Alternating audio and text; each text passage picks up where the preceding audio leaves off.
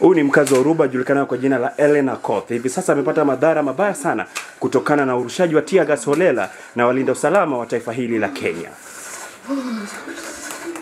Amepata kukimbizwa katika hospitali iliyoko hapa karibu katika vijiji ama katika mji wa Oruba.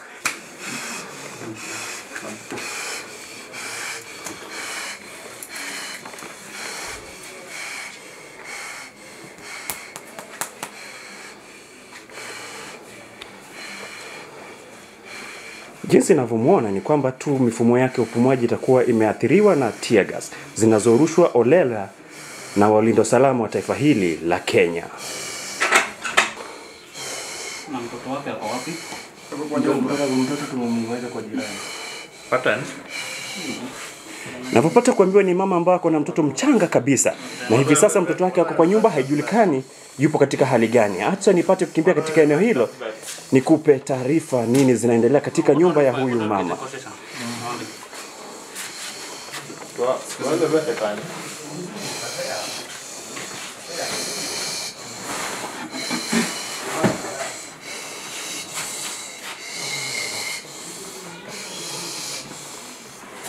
Kwani jago kawuono gibiro biro nyaka malo?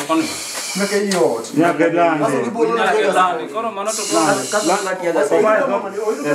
Dhodho nyathi. Gibatiagas Ilandi. Hiyo taa zimetoka kwa mlango pia mlango. Wanauza tiagas kwa mahali watu wanaishi. Wamekaa kwa nyumba. Wadwa ni wale this bed. Wamekaa kwa nyumba. Teka kwa waruza kwa. Manya kando bedel bedel. Mana? Moro no. Onge ni eight. Four